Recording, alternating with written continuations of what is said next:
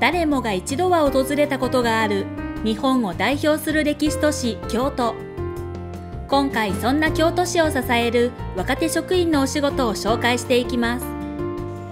今回紹介するのは平成21年入庁現在総合企画局市民共同推進室で働く千賀糸舞さんです。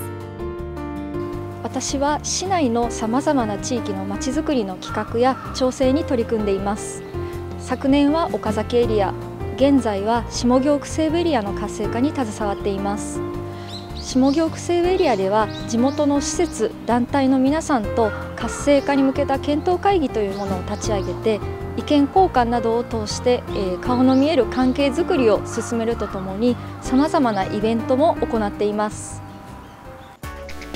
そんなイベントの一つ京都下西通り巡りウォークは下京区西部エリアの魅力をより多くの方に実体験していただくための街歩き事業です。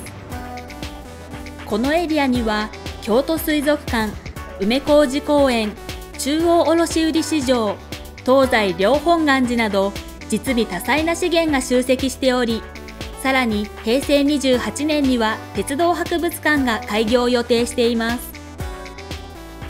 その一つ一つの資源を点ではなく面としてつなげ魅力を発信するためにまずはどんなことができるかを検討会議で話し合った結果こうした回遊型のウォークツアーを実施することになりました。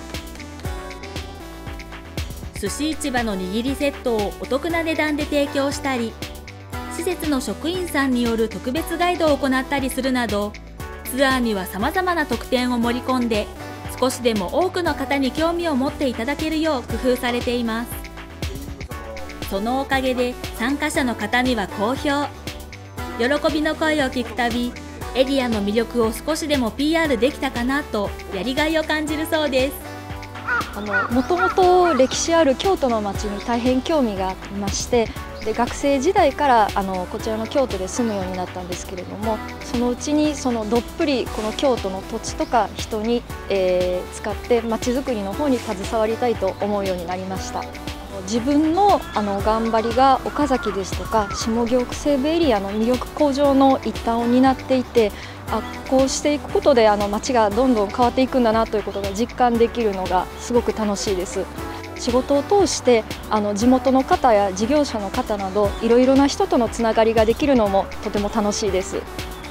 えー、京都市の事務職は今私が携わっているまちづくり以外にも例えば環境や文化観光保健福祉などいろいろな仕事があります。私もこれから多種多様な仕事を経験してチャレンジ精神を忘れない、えー、熱い仕事ができる職員になりたいと思います。日々京都市のために働く職員の姿を見ていただきましたがいかがだったでしょうか？京都市の仕事は幅広くこの他にも様々な種類のものがあります。